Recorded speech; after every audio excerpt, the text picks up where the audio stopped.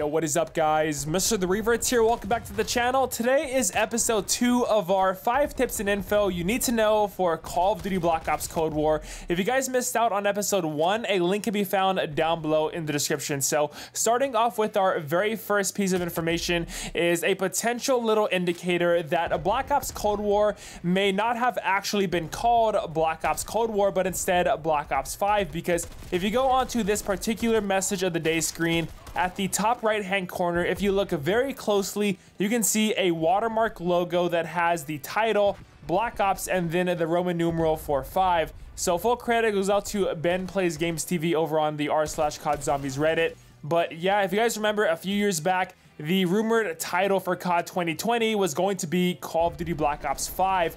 But at some point of the development cycle, that title was changed. So it does kind of make me wonder why they decided to go with Black Ops Cold War instead of Black Ops 5. Maybe to add something a little bit different to the Black Ops series, but I guess we may never know. Coming in at number two here is a much more faster and efficient way for you to put on the body armor score streak. So instead of having to activate it the standard way by just pressing the D-pad, which takes a long time because your character's gotta take out the plates, put it inside of his vest and whatnot, Instead, you can actually swap your weapons while you're in the process of doing that, and you can get rid of that animation and be ready to go with your gun up for a much more faster reaction. So highly recommend you guys doing this every single time you are putting on the body armor score streak. For our third piece of information, we're going to be heading over onto the Call of Duty Companion app because for one, if you haven't logged onto this app in a very long time, then I would recommend going on there because you may find yourself unlocking a bunch of rewards like double XP and double weapon XP,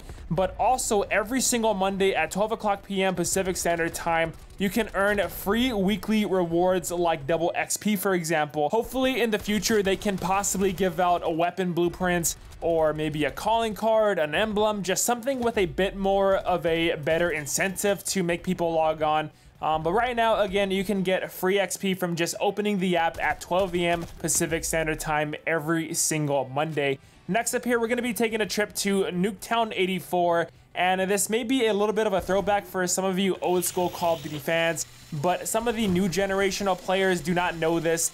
But on Nuketown, there is a hole off to the side of the fences that can be utilized by the RCXD as like a hidden path towards the enemy spawn, potentially catching a player off guard, giving them a nice warm welcome when they respawn after dying. So yeah, if you guys use the RCXD, highly recommend you guys using this hidden path because you can avoid a gunfire. That will definitely put the brakes on the RCXD from getting any kills while you are using it. And then finally, we have a couple of Easter eggs that can be found on a Nuketown and a Miami that depict a, uh, a very phallic-like object, which I'm sure you guys can probably make out what I'm talking about here. But on the map Miami, there is a location called Willie's Grotto. And upon investigating the mini-map here, if you look closely, it does look very, very similar to the male genitalia.